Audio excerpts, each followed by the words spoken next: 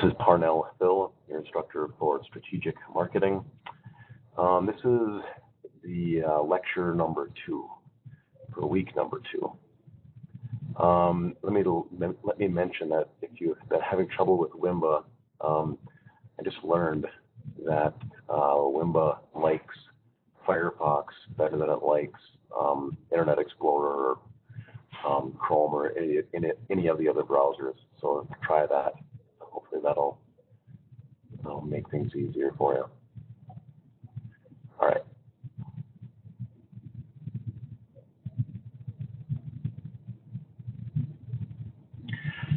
So this is really the crux, the underpinning of the whole strategic marketing course. And um, so this is going to be kind of thick and juicy, so lean into it. Um, I'm going to talk first about the elements of strategy. We talked last time about how strategy is kind of an overused management and marketing word. So we're trying to, to meet um, this skeleton of what people call strategy. And so these um, these are some elements that I want to talk to you about. At the end, the, the, the whole point of strategy, like I mentioned in week one, is to align what it is that an organization is good at doing or what gives them competitive advantage uh, with what the you know what, with what the four P's do. You know the, the promotionalism and the pricing and what product you're offering and how it's distributed. So let's let's, let's start with the kind of the business model, which are the four ways to make money. And on planet Earth, there really are essentially kind of four ways to make money. And uh, I know that's kind of simply put, but the fact is, every way to make money or make a living or to, to do business is a variation on one of these four themes. The first of which is to sell existing products to an existing market. So, for an example, you might sell, if you're Nike, you might sell your existing Nike basketball shoes to existing basketball players. That's a very fine business model and uh, well used and very very popular. Another way to make money on planet Earth is to sell existing products to a new market. So you might take your Nike basketball shoes and sell them to people who don't play basketball, like I don't know, rappers or you know, young people who want to act like basketball players or whatever. And Nike, for example, has done this quite brilliantly. Um, they, you know, many of us have a pair of basketball shoes with the Nike logo on them, and most of us aren't professional basketball players. Third way to make money is to sell new products to your existing market. So, continuing on with the Nike metaphor, if you're Nike, you can sell a new product to an existing market. So not only can you sell basketball shoes to your basketball players, as you did in your existing to existing model, but now you can sell basketball shorts to your basketball players, or basketball jerseys, or basketball socks, or basketball jock straps, or basketball headbands, or whatever you whatever you want. But you get the point. So you're taking a new market, and you're take sorry, you're taking a new product and you're um, taking advantage of the fact that you have an existing market and you're just going to load that market with your new offering because your brand has already been set and etc. Finally, uh, the final way to make money on planet Earth is to sell new products to new markets. So again, using the Nike example, you could start selling uh, hockey skates to hockey players, which indeed Nike has successfully done. So there you have it. Um, you might guess, you might intuit that um, of these four ways to make money, the first one, existing to existing, is the the least risky. Um, it's also potentially the least profitable. While conversely, selling new products to a new market, that is the most risky and again potentially most profitable. Uh, we'll touch on that more later. The second of these elements of strategy, strategy is the core competency. Now, this is a, a word again that is another word that gets tossed around a lot, um, and it shouldn't. Uh, a core competency is different than a simple operational competency. Um, an operational competency, conversely, is something you just do well, um, and it might it might be a really important competency. Um, But in order for for your competency to qualify as a core competency, at least in the, our context in strategic marketing, in order for it to be a core competency, it has to it has to fit a couple of descriptions, and those characteristics are the following. It needs to give you a competitive advantage. For example, if you're really good at, uh, I don't know, making widgets, but there's 17 other companies in your hometown that are also really good at making widgets, then it's not really a core competency because it doesn't give you a competitive advantage. It's just something that you're good at. Um, so that's the first one. The second one is that it has to make you some money. Um, that, that's true whether you're talking about a nonprofit or uh, or a for-profit organization, and you can just exchange the word "make money" for uh, make enough money to keep the operation going. If you're talking about a if you're talking about a nonprofit, but indeed, in order for it to be a core competency, the thing that you do well has, in, in addition to giving you competitive advantage, it also needs to be profitable enough to keep you up to to sustain the the enterprise. The third characteristic of a core competency, as opposed to a regular operational comp- competency, is that it can't be readily duplicated or not easily duplicated. If you look at some old textbooks from the 70s and 80s, it'll say um, not, comp- you know, can't cannot be duplicated. It's kind of softened now these days, um, and the idea is that it's not readily duplicated. I'm kind of an old schooler, so when I'm doing consulting work or looking at an organization's core, I try to find if they have core competence or not. I try to hold to the old, the older definition, which is that it can't be can't be duplicated because if it can be duplicated and you're successful, it most certainly will be duplicated. Now, if you don't have a core competency by this very strict definition, it doesn't mean that you're out of business. It doesn't mean that your business is going down the tubes. In fact, um, you'll look at some organizations during this during the course of this of your coursework here, and a lot of organizations don't have a core competency by that very strict definition. And you know, you might look at it and say, well, they're doing fine or they're doing okay. Fact is, they may be doing okay, but they are at a competitive disadvantage if they don't have a core competency. Again, it doesn't mean they're not a business, it just means they could do better. And organizations can acquire core competency. Your core competency might be that you have Albert Einstein working for you. And if you don't have Albert Einstein working for you, you can hire Albert Einstein away from the competition and thereby acquire that core competency, for example. Same thing with other natural res- other resources, natural or human or any other kind of resource. They are acquirable. You can buy out your competition. Um, you can hire better salespeople, etc. Point is, if you don't have a core competency by this very strict definition, you can get one. Thirdly, there are nine tactical initiatives, which I'm going to go through um, in a minute here. And these are um, sometimes uh, there's actually a Kotler, uh, uh, Phil Kotler book out there that covers these some of these nine tactical initiatives, and he describes them as strategies. And I think it's an unfortunate use of the word strategy, so I'm going to again go old school and call them some tactical initiatives. There are some marketing imperatives that go along with those tactical initiatives. So this will make more sense in the next slide, but hang in there. Next, there are market market or marketing opportunities. There are certain macroeconomic um, or microeconomic, I guess, but there are economic, environmental um, uh, scenarios that avail themselves to marketers that are, you know, and opportunistic marketers take advantage of those. Then there is the strategic alignment model, and the strategic alignment model is, again, sort of the the guts of this course, and it's a tool that you will use for the rest of your life, I hope, um, to gauge whether or not your organization or any organization is strategically aligned. Um, then I'm going to talk a little bit about strategic alignment and misalignment and what that means, as opposed to market dissonance, which are two different things.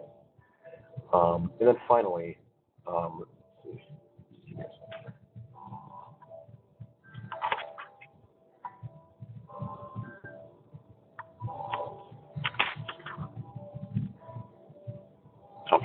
And then finally, I'm going to finish up with the Hansel and Gretel exercise. This is a way for you to practice using the strategic alignment model. All right.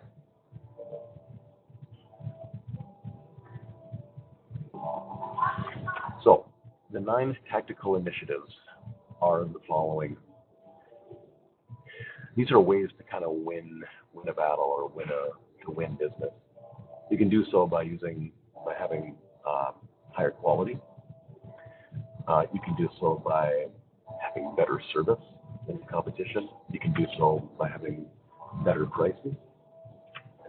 You can do so better prices, meaning, lower prices, more attractive prices. You can do so by acquiring by having more market share than your competitors. You can win or by one tactical initiatives to, to be more adaptive and the ability to customize your offering. Continuous improvement is another one. They all sound easy, but they're not. Product innovation. There's a whole course in this in this uh, uh, curriculum we've had about successful product development. High growth markets is another way to win, and exceeding customer expectations is the ninth. So the real this is the real important piece of this, the associated marketing imperatives that go along with these. If you went and asked some organization how they want to win, you named off those nine tactical initiatives, a lot of organizations would say, hey, we want to win by doing them all. We want to have higher quality and better service and lowest prices and high market share and adaptation and customization and continuous improvement and product innovation and high growth. And we're going to enter high growth markets and we're going to exceed customer expectations. Well, the fact is, that sounds great, but organizations aren't built to do all those things. Most organizations, just like most people, want to be successful in every area of their life, but most people, throughout the course of time, find out what they're good at and what they're not so good at, and they lean into what they are and they lean away from what they aren't. And organizations should and do do the same. That's not to say that you shouldn't try to improve where you're weak. It just means that I could improve all I want my, you know, my ability to throw a football, but I'm still never going to be able to throw it like, you know, Tom Brady or something. So I should concentrate on doing something that I'm better at Tom Brady at, like maybe marketing or something. All right. So if higher quality is the thing that you want to to lean into, if that's what your organization is going to try to win through, then you better have a brand that um, is associated with higher quality. Now, quality is uh, again another one of those words in marketing that gets tossed around um, ubiquitously, and it, it, it, quality means something. Um, there are three characteristics of quality that I want to share with you that I want you to pay attention to, and one of those is that quality is a dynamic um, concept. That means that it changes in time. Things that you know what what is of high quality today might be different than what was of high quality 10 years ago. And we know that by our own lives. You know, what was a high quality car in the 1950s doesn't qualify as a high quality car in the, in the 2010s. Um, another thing about quality is that it's um, hyperbolic. There's it's almost inherently um, jacked up, inherently um, overblown, you might say. You you know this because everywhere you turn, people are saying, uh, "Well, we get the highest quality in the world." Hey, at Ford, quality is job one. Remember that tagline? Well, we know just even intuitively, even if we know nothing about cars, we know that for Ford, quality is not job one. Never heard of a little company called Mercedes-Benz or you know Ferrari or something like that? Everybody knows that there are more high-quality cars than Ford. So that's the kind of thing that drives people like me nuts when words get thrown around and it, it just sort of weakens and, and uh, diffuses the meaning of the word entirely. So that's the other that's the other characteristic of quality. So be careful. And the final one is that it's subjective. So this has to do with heterogeneity. Um, that's what that that means. Um, you, all of you, uh, your definition of quality is different than mine, and what you value in terms of quality is different than what I value in terms of quality. For my kid, a quality dining experience means full of carbohydrates and sugar and you know fast service and all that stuff. For me, quality has nothing to do with that um, when I'm having a, a quality meal. And so you get my point. So quality is dynamic, it's hyperbolic, and it's subjective. So with that in mind, if higher quality is how you need to how you want to win, then your brand better be associated with that. Let me take this opportunity to talk a little bit about brand since it's up there. So brand is another one of those words that get overused. And um, so there, there, are three elements of branding as well, and there's two ways to measure brand strength, is what I'm trying to say. The first is uh, brand authority. And brand authority, that word gets, gets bandied about a lot, and it means a specific thing, and it's measurable. so brand authority is the amount of premium dollars you can get for your offering simply because of the brand. So, for example, Nike might be able to sell a pair of basketball shoes for a hundred bucks, and an identical pair of basketball shoes that has the same functional utility that we talked about last week, um, made by Keds or whatever. Maybe they have, maybe they, all, they can only get 85 bucks for those shoes, but because it's Nike and because Michael Jordan wears them, that brand has some authority the ability to get premium dollars simply because of the brand. Another measure of brand strength is brand recognition. And brand recognition is simply that. How many people in a given population recognize what your brand is? Brand recognition doesn't speak to um, whether or not people like your brand or whether or not they value it. It's just sort of a, a blank recognition thing. And then finally, brand uh, loyalty at what point do people leave your brand? It's sort of a mirror image of brand authority. So brand loyalty is at what point do people leave your brand for, for an alternative brand? You know, at what price do they leave you? So again, these are very measurable, quantitative things. It's not just some elusive, ethereal word that gets, you know, tossed about by marketers all over the place. Don't be one of those people. All right, so the second offering is better service. That's the second tactical initiative. So if better service is going to be the way you're going to win, then you better have a service-based organization, and that implies training, in, in a word. So people like to say, yeah, we give better service, but if you really do give better service, then the people that you employ better know what your definition of good service is. So one question to ask when people say, yeah, well, we have the best service, that's how we win, that's how we compete, um, we compete on service this very next question should be, well, then what's your training regimen? How are your employees trained? What's their definite? What is every employee in that organization should be able to define what you mean by better service? It's just not smiling better or having brighter teeth or a nicer tie. It has to be um, backed up by a training regimen.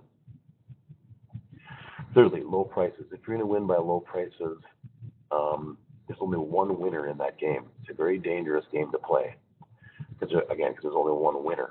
So if you're going to play the low price game, then you better be the low cost producer. So cost again, as you know, is different than price. What does it cost to make that widget? If it costs you one dollar to make that widget, then you can sell it for a dollar one. If it costs you a dollar five to make that widget, then you can't sell it for a dollar one because there's a lot of business over time, and the person that, that makes it for a dollar is going to can you know in, in, the war of attrition they win. So here's the here's the test when people say yeah we have the lowest prices. The next question strategically is well are you the low cost producer? What does it cost you to make that widget? If you're and of course there are things like penetration pricing and um, you know just to get into a market that's that, that's notwithstanding. But in general, if you're not the low cost producer, you better not be the low price provider high market share. If you're going to win through high market share, then you better have your distribution house in order. Um, there are lots and lots of organizations. Well, I mean, I can name them in this town, actually. Um, that that is their that is their strategy to continually uh, acquire market share. Yet they don't pay any attention to, to distribution. What they try to do is sell more widgets than they did last year. So every year is the plan is let's do what we did last year, only harder well, that's not a winning. Eventually, that wears out. You know, it's not a football game. You can't just go out there like Knute Rockne and say, try harder, try harder, try harder, work harder, work harder, you in for the Gipper. Eventually, you have to have something behind that that is strategically uh, placed. And in this case, it's distribution. whether you sell through a series of distributors or a network of distributors, or whether you sell on the internet, or whether you sell direct. Um, whatever your distribution model is, it better be um, it better be optimized if you're going to win by that by that fourth tactical initiative, which is high market share. The next one is adaptation and customization. This is a really popular one, especially in our service-based economy. And if you're going to have, you're going to win through adaptation and customization, then you better have an R&D group. And maybe it's a formally called R&D, or maybe it's just a group of people in your marketing department whose job it is is research and development and how to adapt and customize your offering, whether it's a widget or whether it's a service. But there better be, so again, if you're acting like acting like a consultant, and somebody says they want to they want to win through adaptation and customization, or they want to compete via those two characteristics, then your question should be, well, what do you got? What's your R and D um, position? What does your R and D department look like? Next one, continuous improvement. Again, R and D is a big one here, and that's this is this was a very hot tactic, especially in the 90s and going into the uh, the 2000s. The whole idea of continuous improvement it, um, sort of got popular during the Japanese automobile revolution here in America, where they were always uh, their whole manufacturing uh, paradigm was about continuous improvement. That's why you have things like um, uh, whatever uh, compounds and um, ISO and all of these things that are meant to sort of institutionalize continuous improvement. But that means you better have a flexible organization and an organization that is good at learning. And that doesn't necessarily mean that the organization is just super smart. Um, that's a different thing than having an organization that is geared toward learning. So geared toward learning and flexibility implies that or, that there's going to be mistakes made.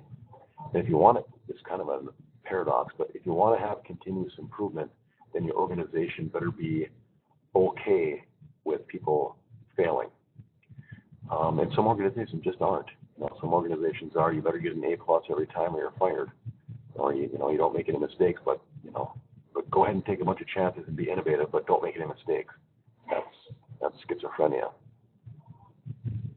All right, product innovation. Again, R&D features heavily here. If you're going to innovate, um, you better have the people that can make the changes to your product or offering on, under your roof, or somehow uh, you know, somehow attached to your organization.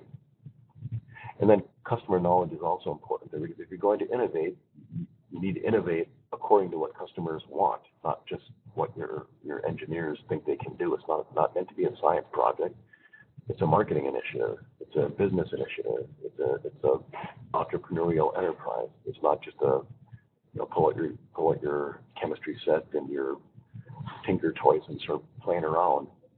You have to make stuff. You have to innovate in accordance with what you know that customers want. High growth markets this is always a fun one. You want to go to you want to go to uh, want to make a lot of money. You want to be uh, successful. You want to compete. Well, then go to you know Silicon Valley and make computer chips or something. But high growth markets imply that you have money to spend. Um, it's hard to get into high growth markets, and the reason that they're high growth is because they're attractive, and since they're attractive, they attract a lot of people with you know with money, money to prosecute the business. So if you're going to do that, you better have money too. And secondly, it's not on here, but let me mention this: your organization better be risk tolerant. Again, that kind of like the, you know, the same thing with continuous improvement. Your organization better be okay with failing once in a while, because when you're, you know, trying to hit a home run every time, you are going to miss the ball every now and then, and so uh, you better be okay with that. And some organ, again, it's a great question to ask organizations. Talk to the CEO and say, "How do you feel about failure?" Um, and then ask the people on the on the ground, the salespeople, "How do you feel about failure?" Uh, it's interesting to see what kind of different answers you get. A lot of times, the CEO will say, "Oh yeah, we're totally risk tolerant. We don't, you know, we're we're we're cool. You know, we're very creative and innovative." Then the people further down the line say, yeah, well, it's easy to say, but if I if I don't make my quota, I get fired. So that's a disconnect. Finally, exceeding, exceeding customer expectations. This one's plain and simple. And a lot, again, a lot of service organizations lean on this one. You know, we we are the we want to make our customers feel you know exceptional every time they walk in the door.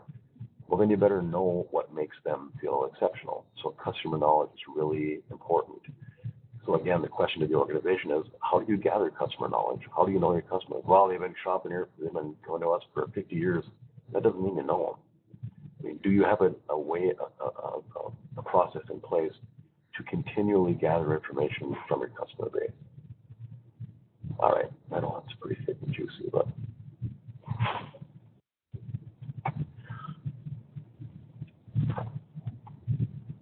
so these are the, mentioned before, these are the market opportunities. These are kind of the, the environments or the scenarios that turn up in the economy that marketers can take advantage of. And the first one is to deliver your product in a newer or or better way.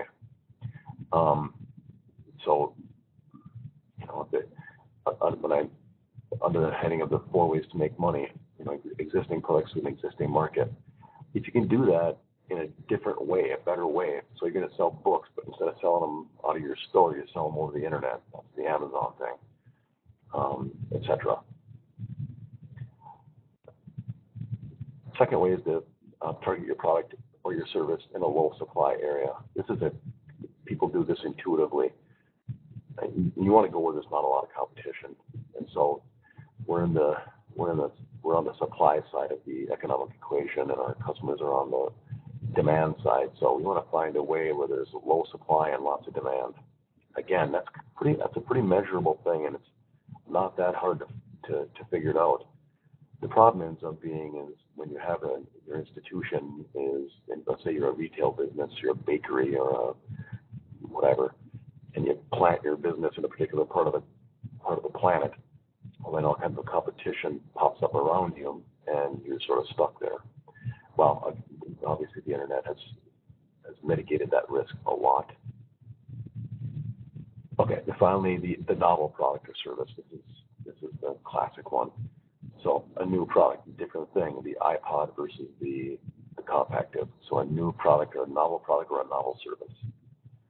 In our town, um, in the past, well, I can I remember when I was in college, my town, which was, had when I, during my college my town got its first um, Asian restaurant, and it was like it was crazy. It was the most popular thing in the world. It was they had to chase people away from the place. It was so busy.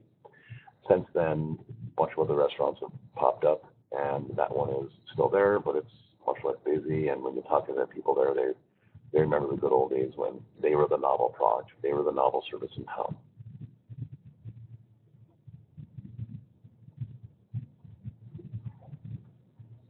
Alrighty. This one is um, this is the strategic alignment model.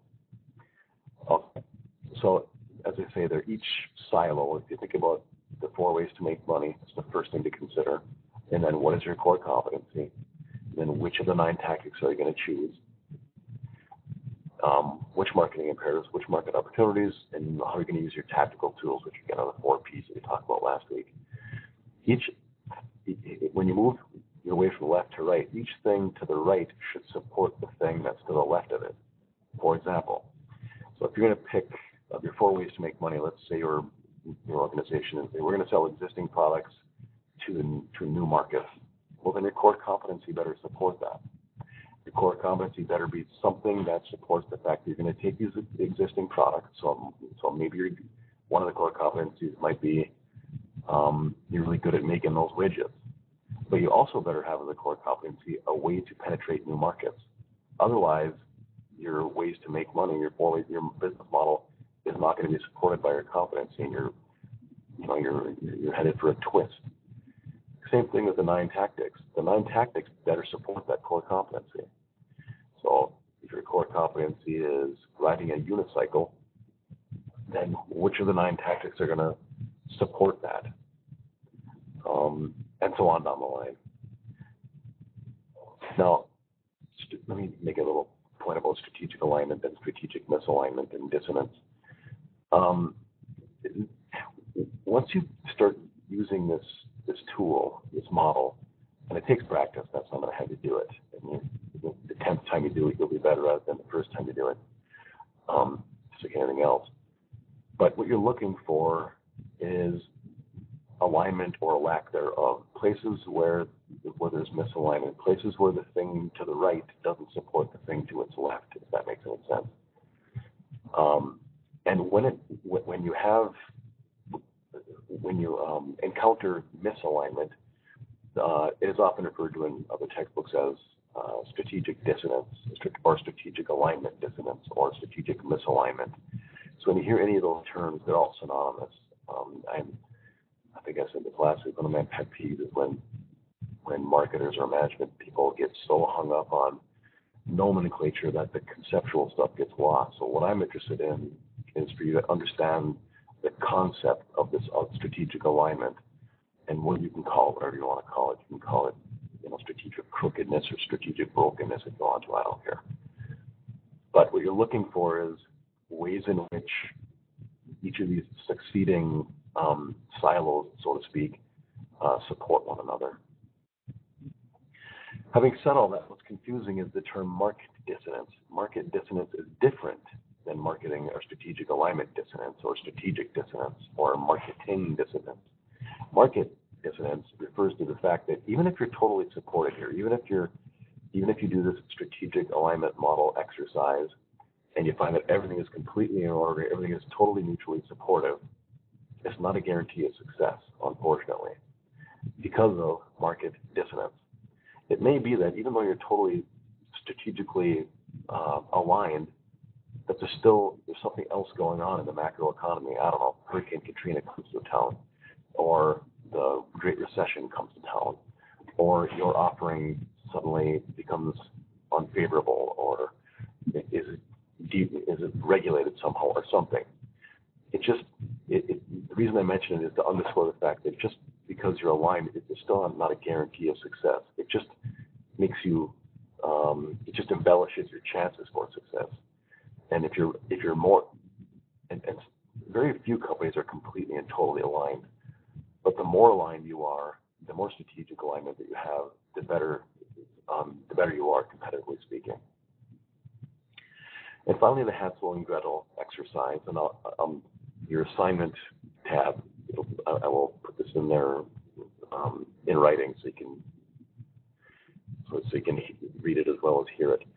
The Hansel and Gretel exercise is aimed at getting you um, practice uh, so you can flex your muscles with this stuff for a while.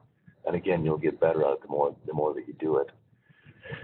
Um, and it's meant, as the title of the exercise sort of uh, implies, it's kind of a working backward thing, and you follow the breadcrumbs to get back to your to get back to your your get back to it again, get back to where you started. So in the real world, when you're actually figuring out your strategic alignment, you start with the four ways to make money. You say, okay, what are we good at doing? You consider your core competency, and you say, okay, well, here's what we're best at doing. We're best at selling existing products to, to new markets. And then you work that way. You work from left to right always. Because you don't want to just start out with the tactical tools where you're just going to start making your advertising and your promotional stuff without doing the, you know, without making sure that you're aligned. And frankly, that's what a lot of businesses do, and that's trouble. It's amazing how many businesses are out there that do just fine um, and start exactly that way. So if you're hired when you go get your big six-figure marketing job, after you get your MBA, um, if you're hired into an organization that believes or that considers marketing to be just promotionalism, that's a big red flag. If you're not invited to the conversation or to the meeting about which of the four ways to make money, or what is your core competency, or what tactical initiatives are you going to employ, then you need it's your it should be your job to educate the organization that you need to be in on that stuff. Because how the heck can you have a decent promotional campaign or talk about pricing or consider pricing when you don't know the rest of it? It's it's a it's a recipe for misalignment and poor strategic um, alignment. So that's how that is supposed to work from left to right. However, the Hansel and Gretel exercise turns this thing on its head. So what you do is you start with the four P's and you work backwards. And it'll be it's amazing how good you'll get at this. At first it'll seem, you know, disconnected and counterintuitive and all that stuff. But just lean into it and you'll get better at it. So the idea again, could refer to your assignment tab. It'll, it'll, it'll be explained in black and white better than I'll do it here because um, verbally it's just difficult to explain. Um, but essentially, it's working backwards from the four P's. What you will do is you will collect um, evidence of the four P's from from a given organization, let's say some advertising, and you look at that advertising and you'll say, huh, which of the market opportunities is this advertising trying to leverage? Is it trying to maybe it's trying to uh, leverage the a, a new and novel product? So does the advertising say something about new and novel, or does it say something about you know just like your mom used to make? Because that wouldn't be new and novel. Follow me? And so then you go work back through the market opportunities. Which market opportunities, I'm sorry, which marketing imperatives are, are does this organization seem to have? And then the question is, does it? You can ask. You need to talk to the organization and figure it out. And back through the nine tactics, uh, through the core competency, and then the four ways to make money. When you talk to organizations, it's amazing when you ask them what their four, which, which of the four ways to make money they want to do. They will often say all of them or any of them. Well, of course that's true, but then you ask the next question, well, what do you think your core competency is? And then you give them that explanation of what the core competency is that's give them competitive advantage, does help them make money, and is it copyable? If they have a core competency, does it really match up? So that's the exercise, um, that's the lecture. Um, again, check out the, the assignment tab and um, let me know if you have any questions.